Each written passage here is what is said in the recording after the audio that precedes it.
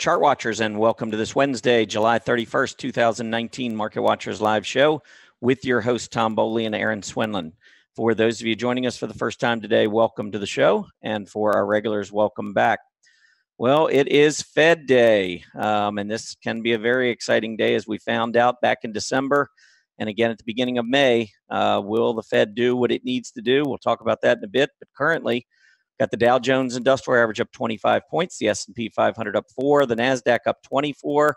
And again, second day in a row, we're seeing some strong outperformance by the small cap Russell 2000 index. We haven't seen a whole lot of that in 2019, but we are seeing it here as we get set for the Fed meeting.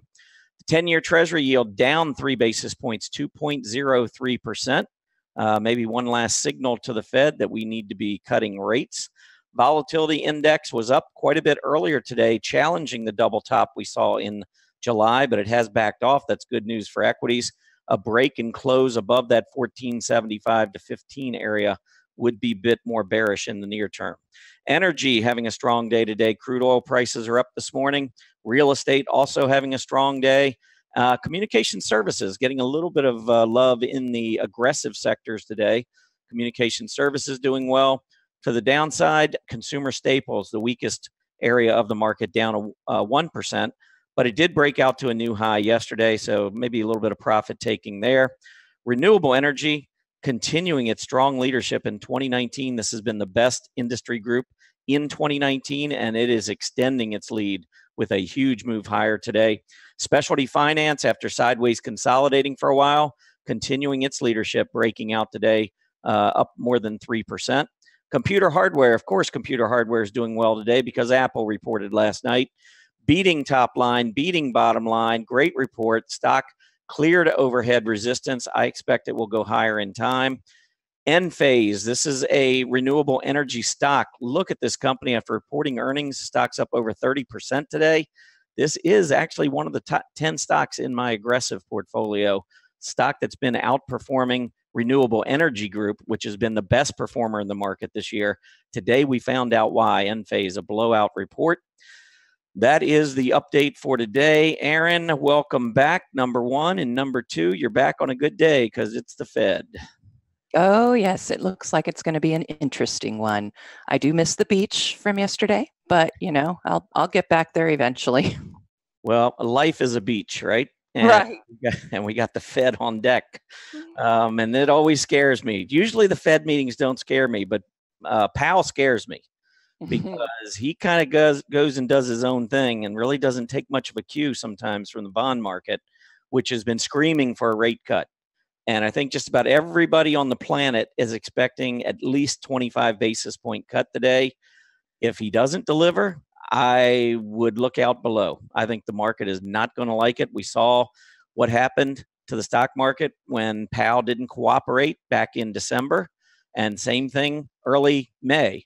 I don't know if you remember, but that was the meeting where he said inflate the lower inflation was transitory. And I don't know what chart he was looking at, but the charts I've been looking at show the dollar continuing to strengthen, meaning pressure on commodities to the downside and even with the strong labor market, we're not seeing wage inflation. So I don't know where he's talking about the transitory, whole transitory thing. Um, but he did come off of that a little bit at the last meeting, and that kind of set up for a rate cut today. Hopefully he comes through. We'll see. Um, but we do have a special guest today. We've got Jake Bernstein. Jake, how are you doing today? Doing good. Thanks for inviting me. Appreciate it. Yeah, um, I know you've got an interesting uh, um, presentation for everybody and some of the things you've learned over the years and some of the tips that you want to give our, our listeners. So uh, looking forward to that. We'll do that in about 10 minutes if that's Thank good. you. Absolutely. Awesome. All right, Erin, what we got? All right, upcoming schedule. Roman is going to be with us tomorrow. August seasonality is Friday. My dad's coming in on August 7th, so don't want to miss that. And then Another tech titan, John Murphy, will be coming in right after that. Today is a busy schedule, as always. We do have Jake getting ready to come in and talk to us after our news. 10 and 10, Magellan Health Services is the first one, MGLN, and that will wrap it up. So let's go ahead and get it started. How about some technical news? Sounds good. All right. Well, first, let's take a look at the uh, economic uh, news that was out today. We did get the July ADP employment report. That is a precursor to the non farm payrolls on, out on Friday. They came in about as expected. Uh, sometimes we get some big moves one way or the other, not today. 156,000 versus the 155 expected. The big shocker to me was the July Chicago PMI. Second month in a row, we're below 50. Um, and today it was actually expected to be just back above 50, a little bounce from what we saw in June. Instead, we took a tumble, and there's a lot of speculation. Maybe it's the trade war, um, but the Fed's got to be looking at that. I mean, that is a horrible number. Uh, and of course, the Fed, the policy statement is out today at two o'clock, so we'll see what happens there. As far as the bond market goes, the 10 year Treasury yield continues to in this decline. Today, as I mentioned, top of the show, down about three basis points, back to 2.03%. I don't know what's going to happen here. We'll talk about it some more in a minute. But uh, the, right now, the bond market probably collecting its uh, or, or, holding its collective breath. Um, let's take a look at some of the earnings reports. We had some big ones out overnight and this morning. Of course, none bigger than Apple. Uh, Apple did come out and report better than expected uh, revenues and um, bottom line earnings. Earnings came in at 218 versus 210. Amgen beat, Gilead Sciences beat, uh, Mondelez International, a food products company, actually had been looking pretty good on their chart, only matched. Same goes for Advanced Micro Devices. That was a, a big shocker. Full disclosure, I own it actually and held into its earnings report. So, of course, it went down. Um, Allstate uh, beat on their bottom line, had a really nice reaction. We'll take a look at some of these charts in just a minute. Um, as far as the market goes, let's take a look at the S&P 500 here. Um, I think we got a nice little cup handle. If the Fed cooperates, I think we get a breakout. I think things would look pretty good.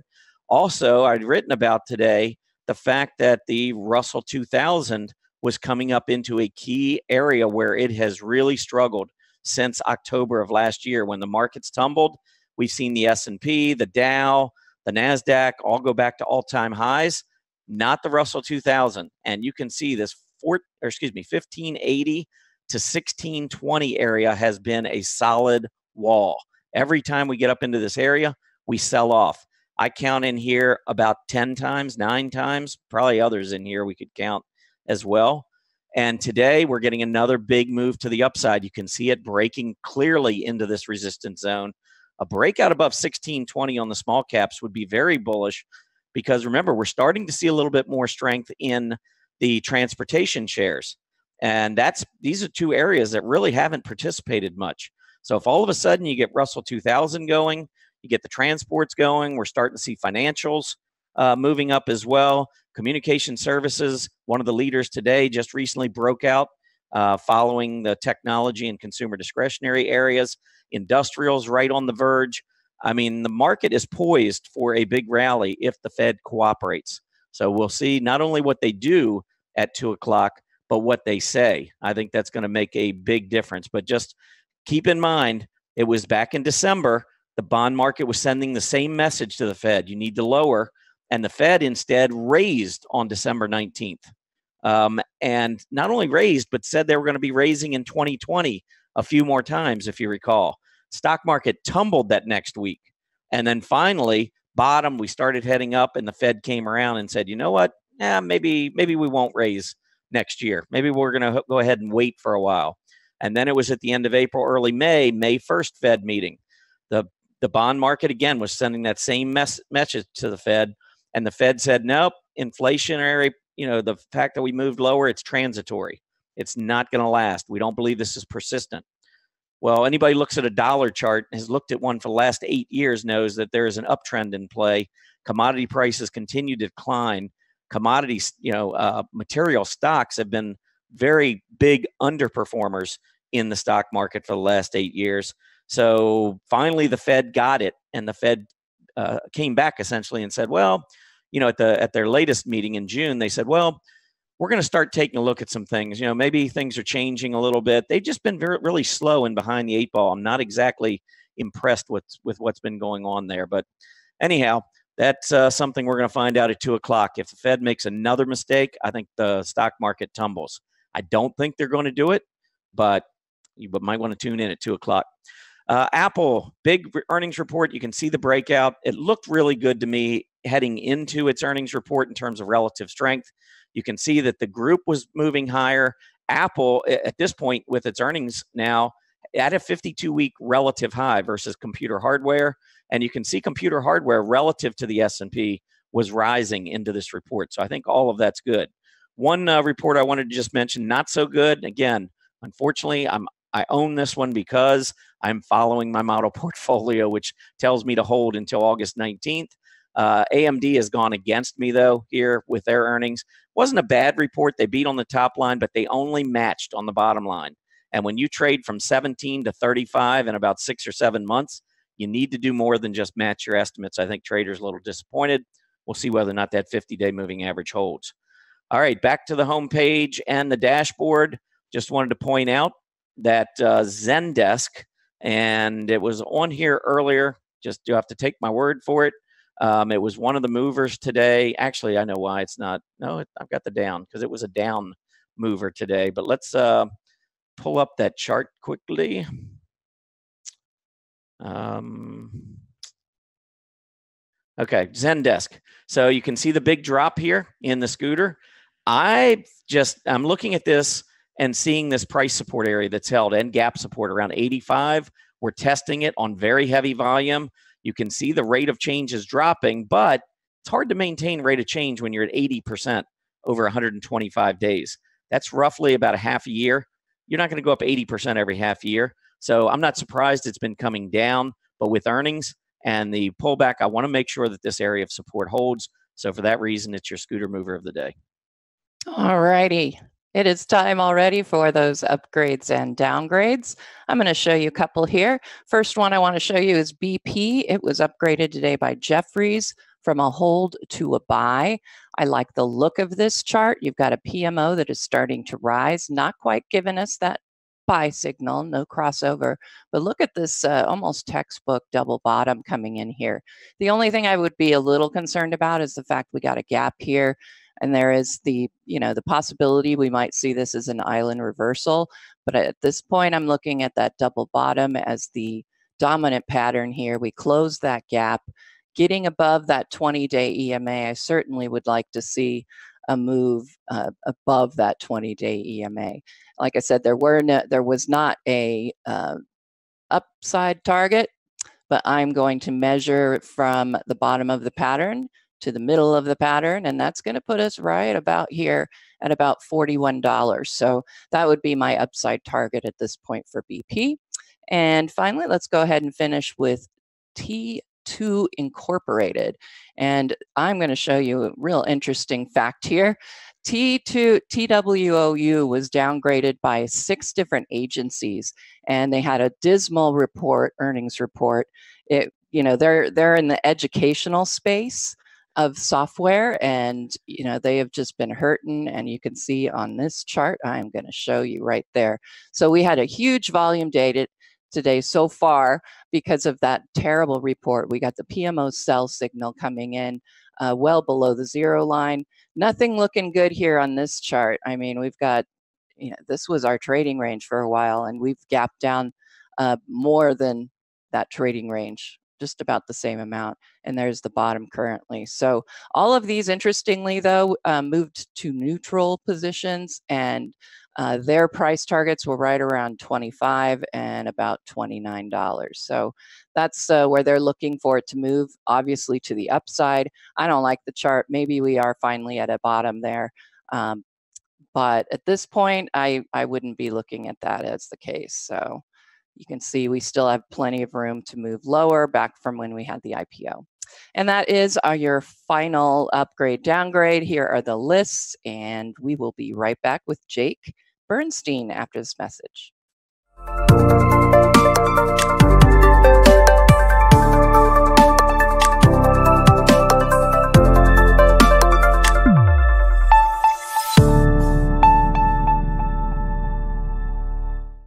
I think StockCharts is a fantastic uh, platform, especially the fa fact that it's web-based. So um, on the car on the way here from the airport, I was bringing up my cell phone and I was looking up really beautiful charts to get a, a read on what happened. I looked at the market uh, summary page and then I'm drilling into individual charts. StockCharts is unique in that you've got all of the perspectives of uh, many of the technicians. A sincere desire to really help educate investors, and that's really critical. Stock Charts is unique because we combine the commentary, the education, as well as the tools in which you need in order to analyze the markets. All right, we are back right now, and I am happy to introduce Jake Bernstein. He has been in this business for, gosh, well, I know you you do a weekly publication uh, that you've been doing since 1972. Uh, we're really glad to have you here, and can't wait to hear what you have to say. You know more about me than I do. That's great. Thank you.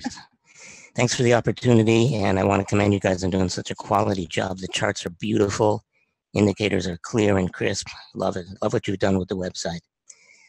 So thank you. thank you. I've been in trading for half a century and I'm beginning to feel it. In 25 minutes, it's difficult for me to share, other than a few pearls of wisdom with you, some of the things that have allowed me to accumulate a good amount of wealth. I'm a real trader. I'm not theoretical. I trade what I teach and I teach what I trade. And so let me give you some pointers that have made a difference for me.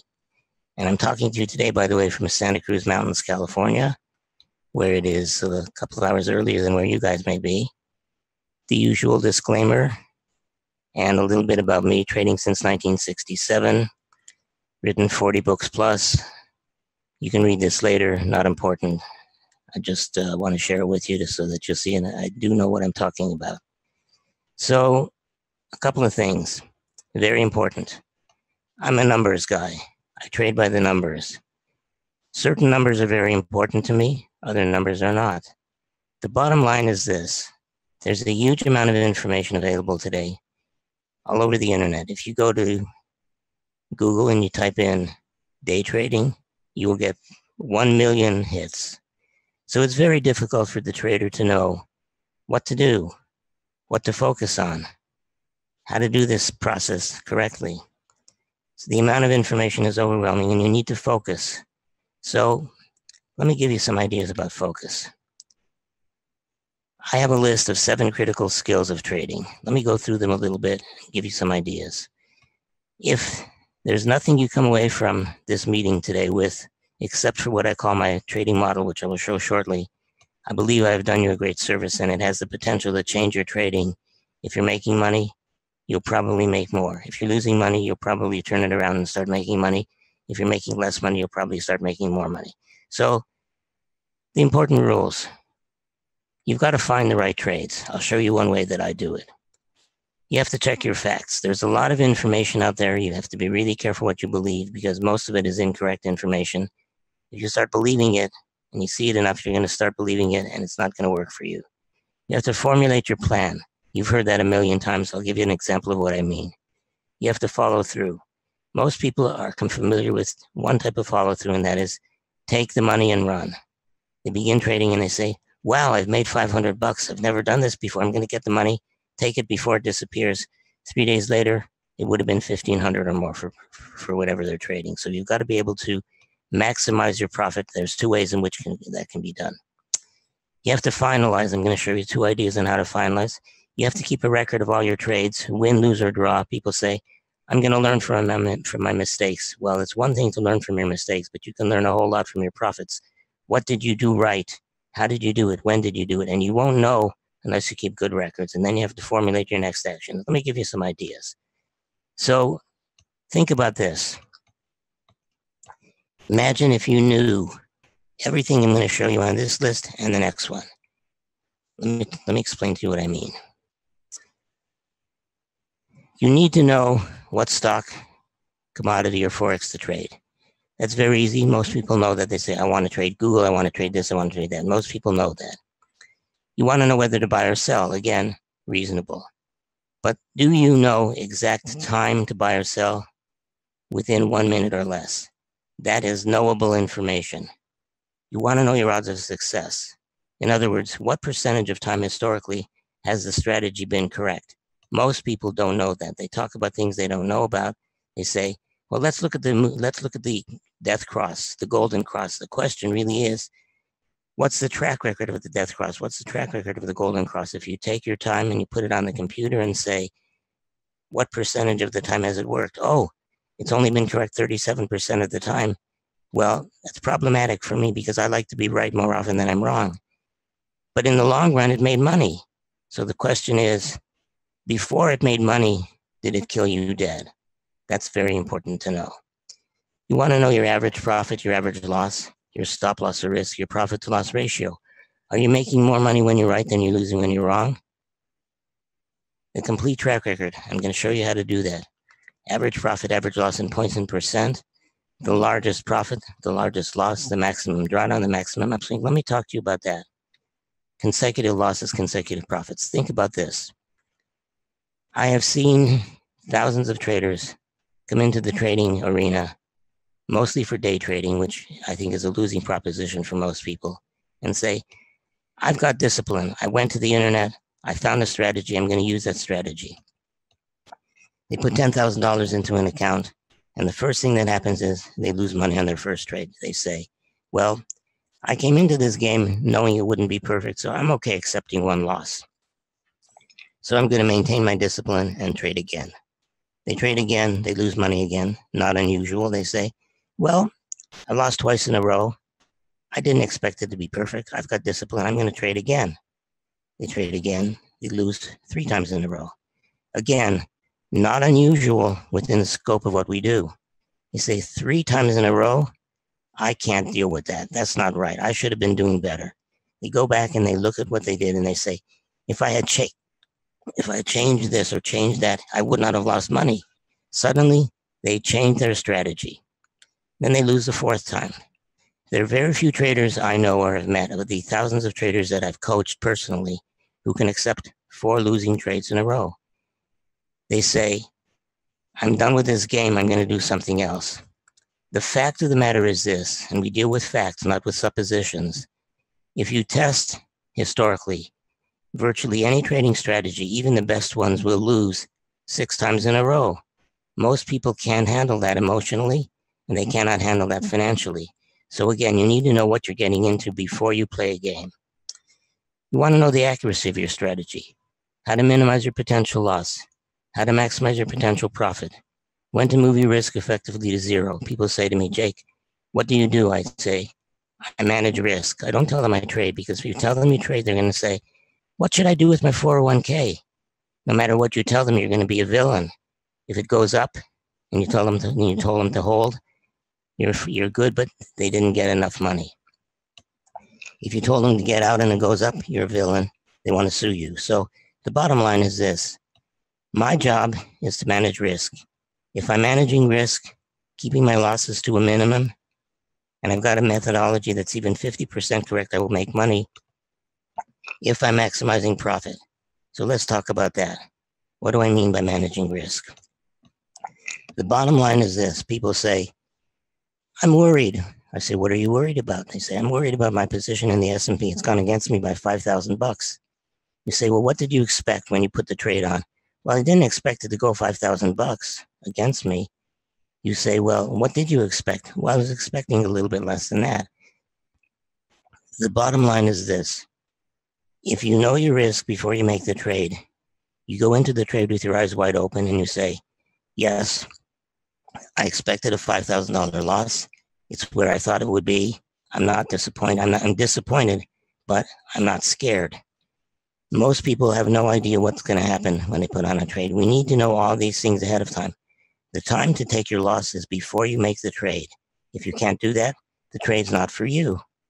So you want to know when to exit your position, when your risk effectively to zero, and all of these things. So imagine most people don't even know one third of these things. The problem is lack of information in spite of all the information that's available out there. How are we going to get that information? Let me give you an idea. Let's let's switch for just one moment. Let's talk about what's very typical these days. I took some time to look at some information that was coming over the TV from one of the business shows. I'm going to share this with you. I call this my antithesis because this is what I'm not interested in doing. TV reporter, So where do you think the stock market goes from here? The brokerage house analyst says, even though prices are making a standard bear market recovery, I ask the question, what, by definition, objectively, is a standard bear market recovery? Then they say, it looks like the market wants to go higher from here, expecting the Fed. I say, looks like what? What looks like something to me may look like something else to somebody else. How does the market know what it wants to do? Are we dealing with a living, breathing entity here? So basically, what I've done here is I've highlighted in red all those things that don't make objective sense to me wants to, expecting the Fed to keep rates stable because they are thinking. How do we know what they're thinking? That inflation is under control. What does under control mean? And my point is this there's so much information coming across these days that's subject to interpretation. I can't deal with it. I can only imagine how a non professional trader can deal with it. Probably not at all, which is why so many people are so confused. I just came back from teaching a master class at the Money Show in Chicago the good news is there were at least 75 exhibitors there teaching their stuff. The bad news is 95% of it was not objective. It was unclear. And most people left more confused than when they got there. So that's problematic. So then we go on. Consequently, the Fed will probably not. What does that mean? Be a factor in the underlying fundamentals. What are the underlying fundamentals in the foreseeable future? Can we define foreseeable future? I think you get the picture. The picture is this most of this kind of information, or on the next slide, which happened just a couple of days ago. Let me show you what I mean. Oh, come on, computer. I've eliminated the next slide. So the bottom line is this. The problem is there's a lack of clarity. If you can specialize and focus on a specific factor, a specific methodology that gives you most of the answers to the questions that I just raised before, you will do well. So ask yourself honestly do you have the information that I listed here? If you have even half of it, I would be surprised. If you have most of it, you will make money in the long run. Let's talk about charts. The beautiful charts that you get over here at stockcharts.com. And again, I say they're beautiful. People send me charts like this, and I say, Excuse me, what the hell is this? It's so confusing to me.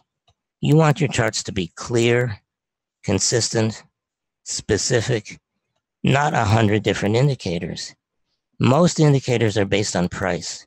Therefore, they will show you the same thing most of the time. So decide on your indicators, but then again, go back and ask the question, do they work? So I say, forget about that, but do it clearly. One more thing I'd like to share with you. Since I live near Silicon Valley, I'm very often invited to give speeches or lectures or teach classes to a lot of the tech people who have businesses in the area. Frequently, I will go to these meetings. There'll be 30 or 40 engineers there, software engineers, computer hardware people who say, We're not making any money trading. How do we do it? I say, Listen, guys, I've got a great idea. Let's go to the computer and ask the question does the death cross work? Does the golden cross work? Does the 20 MA, MA over the 50 MA work? You say, how do we do that? I say, well, I've got a great idea. We can do it with a computer. And one of them puts up his hand and he says, what a fantastic idea. We can use computers for this. Cool. So the bottom line is this. We have the technology. Instead of dealing with things we don't know, let's find things that we do know. How often does it work? So I use the following strategy, and I want you to pay attention to this specifically. Because as I said, if I can teach you only one thing today, my trading model, I think that will make a difference if you're not already using it. There are three parts to every trade. What I call setup, step one, trigger, step two, and follow through, step three. Step one, setup. What is a setup? A setup is a pattern. There are literally thousands of patterns in the market. Patterns that most people are familiar with. Reversals, key reversals, breakouts, flags, pennants, double tops, double bottoms, you name it. That's the good news. You can see them on a chart.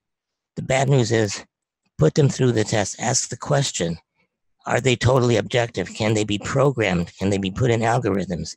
If not, You can't test them. If you can't test them, don't trade them. My advice. So, how do you test them? That's easy.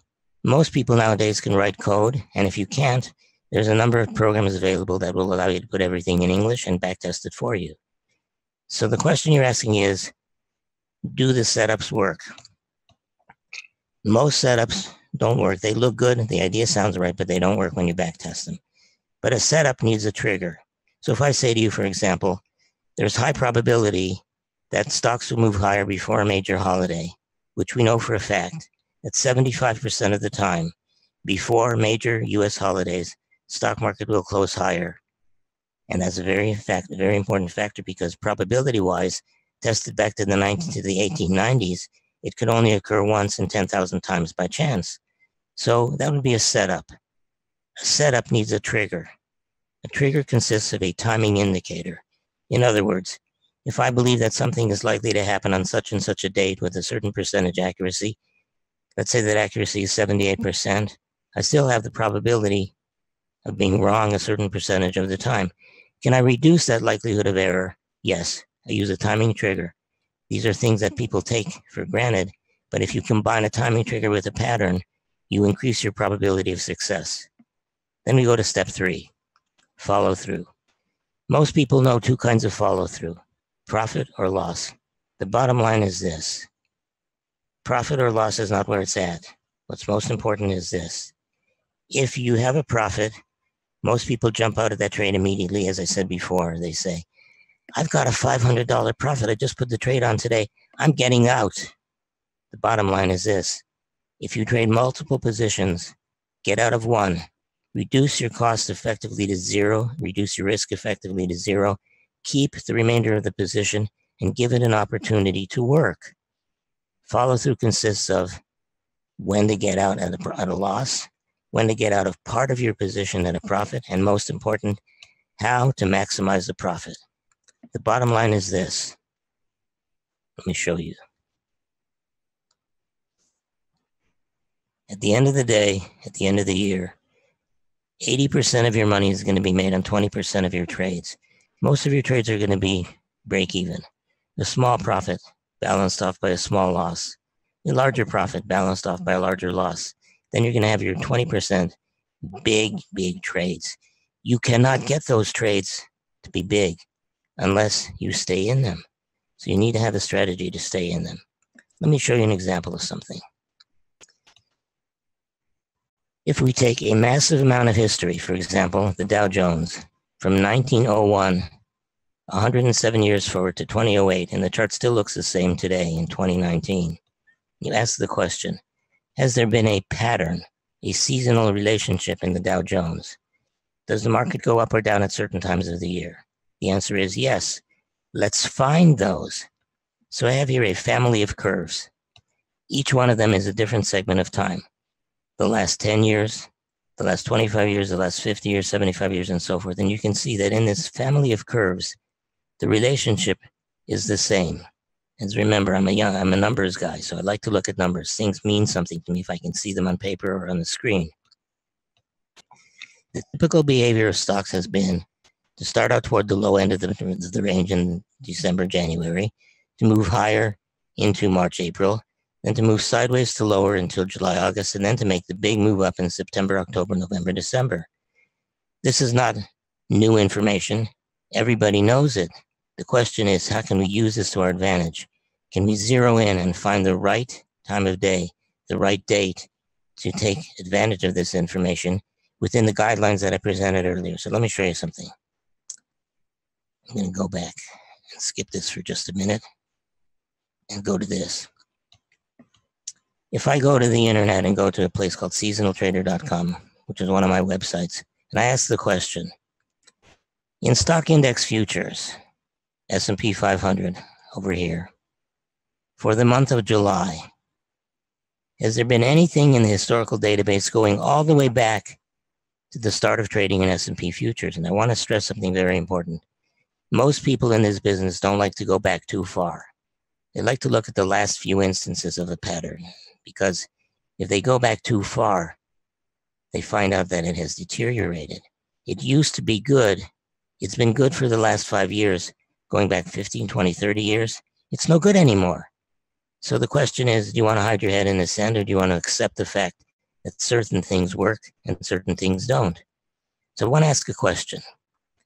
Back to the start of trading in S&P futures for the month of July in S&P, has there been anything historically that's been right 75% of the time that has lasted 25, 25 days or less? I want to clarify what I'm talking about. I'm saying, computer, look at your huge historical database and ask the question, is there anything in July that's been right a high percentage of the time for less than 25 days? So the computer is going to give me an answer if there is an answer. Otherwise, it's going to be garbage in, garbage out. So what happens? Let me show you. I do the search, computer comes back and says, historically, buying stocks, S&P specifically, end of day July 11th, getting out end of day July 15th, has been correct 75.7% of the time since the start of trading in S&P futures. So you'll notice we're going back a long time to get the data. Now, important to say, the past does not guarantee the future, but if you believe that history repeats itself, you've got something to work with. And I want to stress this approach, which is only one of my six approaches that I use for trading, answers all the questions that I asked before. Does it tell you whether to buy or sell? Yes, it says to buy. Does it tell you when to get in? Yes, July 11th. Does it tell you when to get out? July 15th. Does it tell you time of day? Yes. End of day, market on close. Does it tell you your risk? Yes, the stop is 1.5% of the entry price. Does it tell you the profit loss ratio? Yes percentage win, average profit in S&P points, average loss, and so forth. And it shows you the equity curve. So here I am. I've got a wealth of information. Now, what, what I do with this information is very important. I'll tell you why. Let's talk about psychology for a moment. My first profession was clinical psychology. My first job was working in a state hospital with psychotic patients. I do the same work now, but I get paid a lot better. So the bottom line is this looking at a cumulative performance chart like this, the mind begins to work and it says, well, as of last year, it was at its highest cumulative profit ever. It's working so well, it can't continue to work this well. The fundamentals this year are very different. That's always the excuse. This year is going to be different. I don't want to know about that. I just want to know my odds of success, but most of all, I want to know my risk. Can I afford the risk of this particular trade moving against me by 1.5%? So I don't look at the performance. I look at the risk. If the risk is okay, the trade is okay. But then I can do something else. This would constitute my setup. The pattern is good. I know the history. I can go to a chart. And by the way, this chart, easily done on stockcharts.com. This was the trade this year. The entry date, starting at the blue line, end of day, exit date, over here, trade is over. So when the trade is over, what do I do? I get out of part of my position. I trail the stop on part of my position. And over the next few days, I'm stopped out of my trade, one at break even, one at a trailing stop, and the trade is over for me. I then begin to look for another opportunity. The same strategy can be used in stocks. Examine, by the way, here's the S&P trade. Every trade, every year, all the way back to 1982. Very, very simple. Hey, Jay. Of, Yes. Uh, I got a question for you because I'm a big seasonality fan. I think anybody watches Market Watchers Live knows I've got a spreadsheet. I go back, I probably don't go back as far as you do, but I'm also a numbers guy. And I know the 11th of the calendar, of all calendar months, tend to be pretty bullish yes. through, about, through about the 18th, 17th, 18th. So I understand the trade and what you like there in July, but why would you keep some of your position if the if your history is telling you that you want to get out on the 15th, why wouldn't you get out of all of it? Why would you have a trailing stop on the on a part of it? Because sometimes the trend will continue. I want to give myself the opportunity to take money off the table, get out of the risk zone. And in the event that this year is going to be different and continue higher, I want to give myself the opportunity to take more money off the table. Okay. All right. But well, that, we, uh, we've, we've got about four or five minutes. I just wanted to your point is your point is well taken, but here's here's been my biggest problem. It took me 15 years to realize that my big money is made in my big trades, and that unless I'm willing to risk giving some of that back on the last position, I'm not going to make the big money. But your question is very well, very good question. There was one other question that came into the room, and it was Sure. about, it was about position sizing. So if you know going into your trade that you're only going to risk one and a half percent, do you back into your position size based on the amount of money? Absolutely, yes, absolutely. Okay. And I prefer to trade in units of three. One, to take my profit target off the table. Two, break even stop. Three, trailing stop, locking in a percentage of the of the profit. So let me show you a couple of more things. We can do the same thing in stocks. For example, 3M, November trade, 81.6% accuracy going back 50 years, 49 years. So again, the question is going to be psychological. Will it work this year? So you know the trade in advance. Let's see what happens this year. And again, I want to say this is very easy. It's based on seasonality. Seasonality is based on fundamentals. So ultimately, the fundamentals are there. I'm just trying to extract, extract the patterns using the search process that will allow me to make money with this trade. And I've done this for many years. It's been very consistent. Here's the entire track record of the, of the trade I showed you. I know we're running out of time, so if there's any questions, I'll be glad to take them. All right. Yeah, that would, uh, was a very uh, um, enlightening presentation. I know you you follow a lot of rules, and just about everybody we've had on the show has their own set of rules that they follow. Um, and I know Erin, you know, uh, one of the folks you really like to follow is Dr. Alexander Elder because of of rules and you know trading based on certain rules. Um, when did you first, Jake, begin using these this set of rules? I mean, everybody goes through periods. I'm sure you were no different where you have to learn. You kind of have to learn as you go along. You pay a lot of tuition. When did you first follow start following these rules? 1972. Really? When you started? No, I started in 67. 67. Okay. And it took me about five years to realize that I was following the wrong rules and I didn't even have any rules. I'd go to the library and look at chart books and say, well, there's a trend line. That looks pretty good. Oh, wait a minute. The trend line won't work unless we make it a little bit fatter. Let's make it fit. So that was my problem. And it wasn't until I went to the Mercantile Exchange and sat in the visitor's balcony one day and some guy said to me, What are your rules? Do they work? Do you know if they work? That the light bulb went on. And that's from that point forward, I started being more disciplined and more rule based. Yeah, I think uh, another one of my fellow um, senior technical analysts here at StockCharts, Dave Keller, um, he writes a blog here, The Mindful Investor, and he talks a lot about our personal biases that we have. And I think what you were just talking about, where you're fitting the line, you're making it, you're making it work based on what you think it's supposed to do, and that can be a really painful and expensive lesson. My worst trades have been on wishful thinking. Mm-hmm. So I try to be a numbers guy. If the rules don't work for me, they don't work. And it gives me a lot of peace of mind. Okay. So these uh, three, well, four websites that you have on here, this is how people would get a hold of you along with your phone number there. They want to reach. Yeah, they can. And if anyone wants the PowerPoint presentation, I'll provide it to you guys or send it to them if they send me an email. Okay, awesome. Well, I know Erin does a uh, a blog here for us for uh, Market Watchers Live, so maybe you could send those to her and she could incorporate that into um, the blog. Yes. Let me say one more thing. Sure. Mhm. I didn't mean to diss anyone else's trading style. I just have my trading style and I can only speak to what I do because it's done extremely well for me. I'm sure there's a lot of good stuff out there. I just don't know what it is. Some of it is artistic, some of it is not. I'm just not an artist. I'm a numbers guy. Yeah, and I always say whatever works. I mean, Exactly. I think things different things work for different people, different strategies. I'm I can be somewhat aggressive at times, and somebody who's very conservative not going to find my methods very um, profitable for sure. Sure, absolutely. It's like the Elliott wave. Some people are really good at Elliott wave. I'm not one of them. Right. Yeah, I, I have problems with. I can feel it fit Elliott wave into whatever I want to see, exactly. Exactly. and I don't mean to diss the Elliott wave people because I know some people who are really good with Elliott wave, but it's just you know it's not my thing.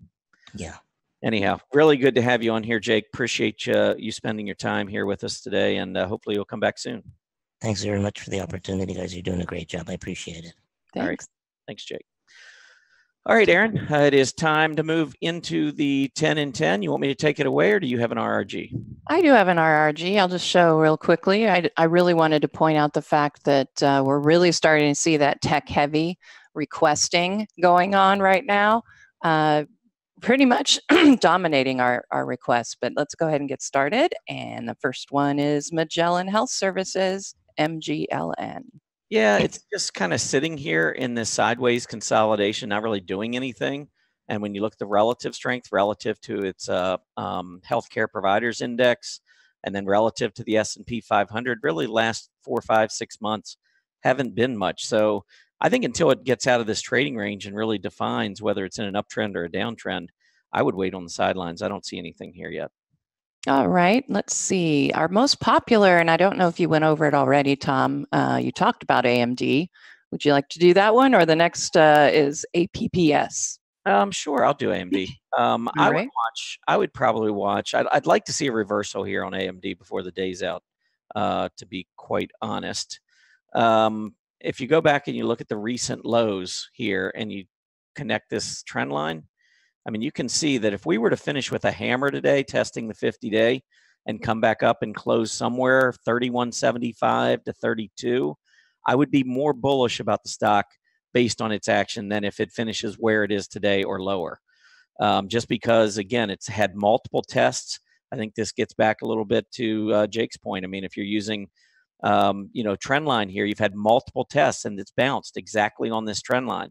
So if you get that reversal, you can manage your risk because you can use today's low as a as a stop.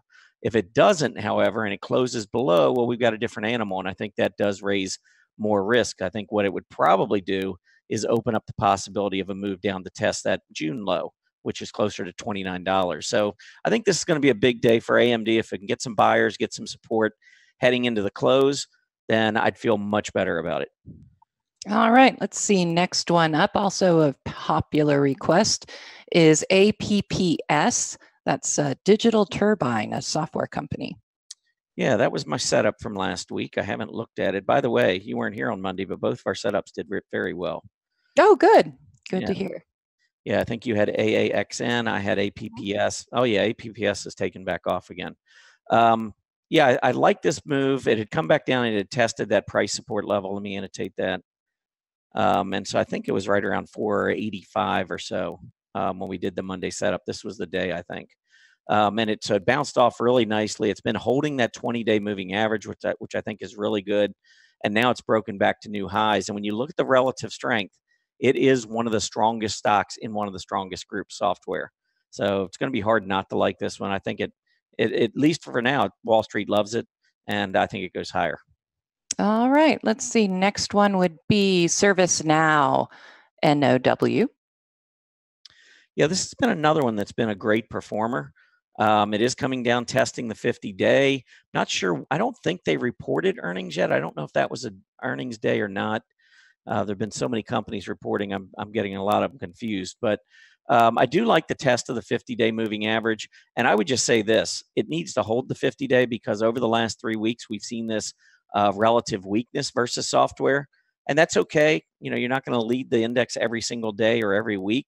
But if you start to lose key support areas at the same time that you're losing relative strength, that's when I start to have a little bit of problem. So I would certainly keep an eye on that relative strength line. And then probably the most recent low, we've gone down and tested this area. I think if the stock were to close much below 270, um, I would I would probably reevaluate, maybe look for a different uh, software stock because that would combine a, a price breakdown along with the relative weakness we've been seeing.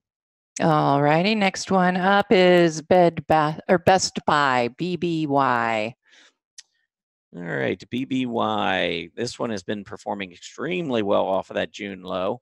And you can see on a relative basis versus specialty retailers, not only have we been going up, but we have now reached about a seven month relative high on uh, uh, Best Buy. So starting to show some really nice strength. One of the problems, however, is just the group's been weak. But as long as this continues moving in the right direction. It's an outperformer in the space. And as long as it doesn't lose any major support level, and I would just say that that support level for me would be its recent breakout, which is very close to its 20 day moving average.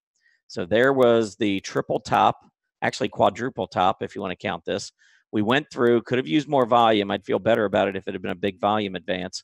But if we pull back, I want to hold $75. And the reason being, you're in a group that now has not been performing well.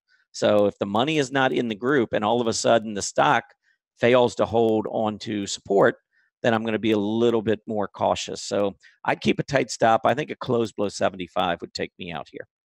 All righty, let's see. The next one up, and it's perking back up, but I don't think I'd want to be in this space. Abercrombie and Fitch, ANF. Yeah, the space bothers me as well. Uh, yeah, it's perking up, but it's got overhead resistance and it's been perking up on less volume. I do not like this stock at all. Um, I don't know if I can be any clearer about that. There's your gap down. I mean, look at the volume that came in. This is major distribution taking place. So I think 19 and a half to 20, if I held the stock or if I was in it and I was just trying to minimize losses, I think this area as it gets close to 20 is an area where I would be exiting uh, stage left. I mean, this does not look like a very good pattern. Volume has been dwindling as it's been making this move to the upside.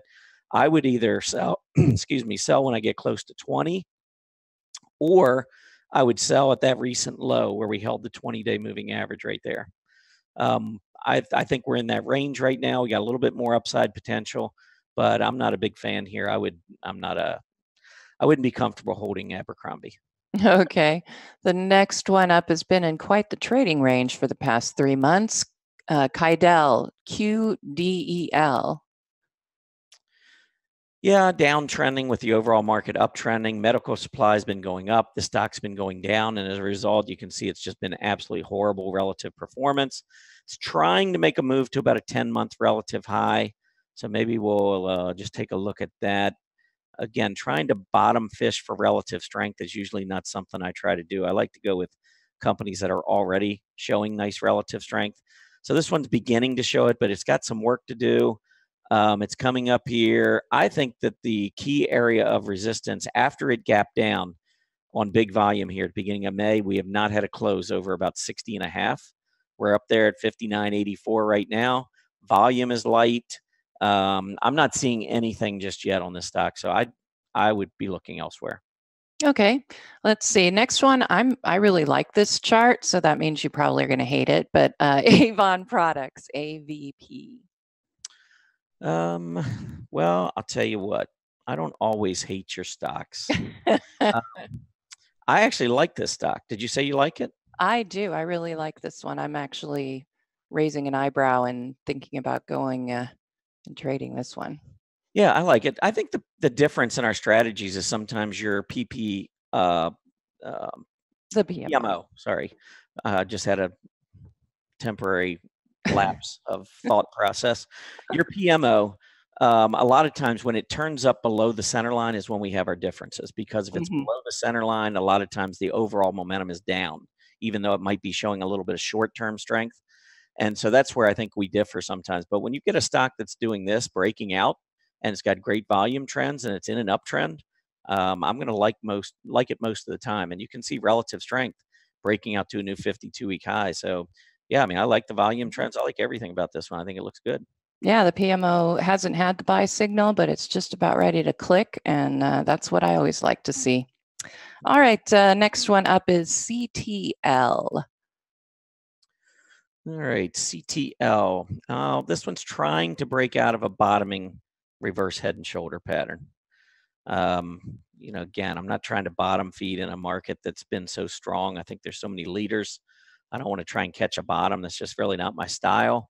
But if we had a really big volume, I'm talking 30, 40 million shares or more breakout, that to me would confirm that we're breaking out of this downtrend that CenturyLink's been in for a while but it's a terrible performer longer term relative to its peers, relative to the S&P 500. Its group is not great. Um, there's just not a whole lot to like here unless it makes this breakout. So I think you're too early if you're trying to get in here.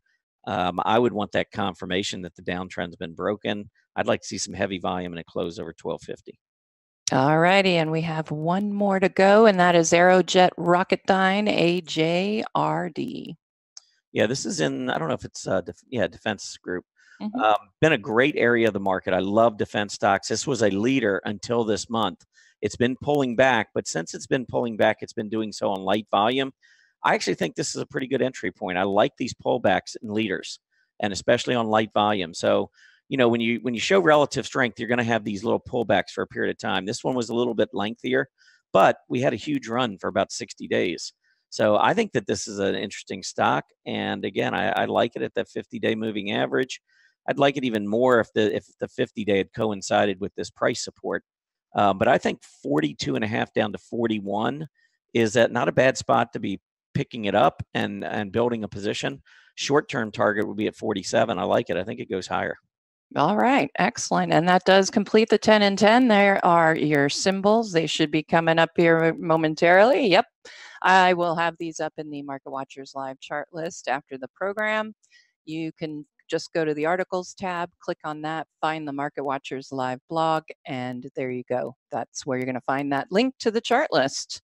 All righty. Can you believe this is really fast? This is my first time doing the show and in the one hour time slot. And it's shockingly quick. yes, it is. Uh, we do have a poll today, though, and it's timely because the Fed's meeting in an hour. Yep. So we wanted to, yeah, we wanted to see what everybody else thought. Um, and it looks like the majority of you agree with the market that there's going to be a 25% or 25%, 25 uh, reduction in the Fed funds rate. I agree with it, but I absolutely believe they should do 50. I think they should do 50, but I think they're going to do 25. Yeah, there seems to be a little bit of hawkishness, you know, in comparison to others. Uh, I I have to say, I think it's going to be that quarter. That's what I put in there.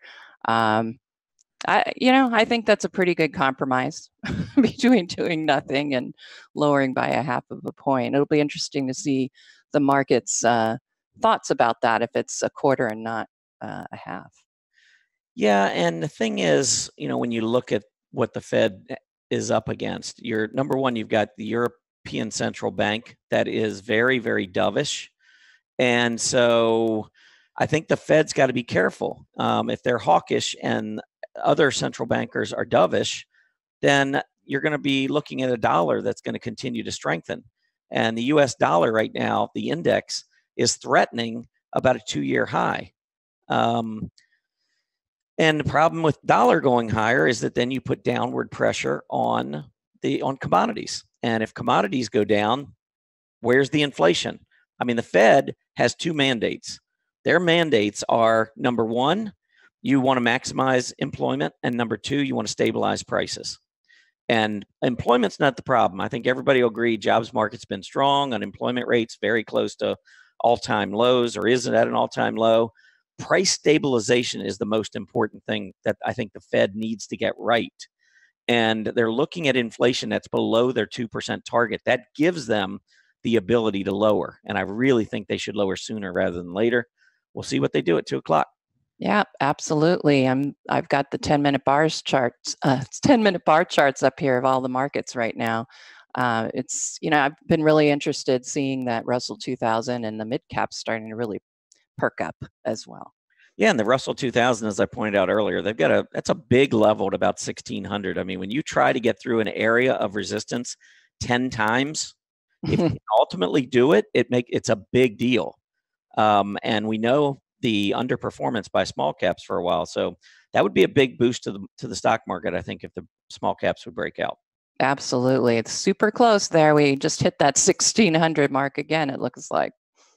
Yep, and I think that range was 1580 to 1620 right in there. So exactly. the three indices, the major indices all breaking out the new all-time highs. The Russell nowhere near its all-time high yet. It's just trying to get above that intermediate high. Mm-hmm.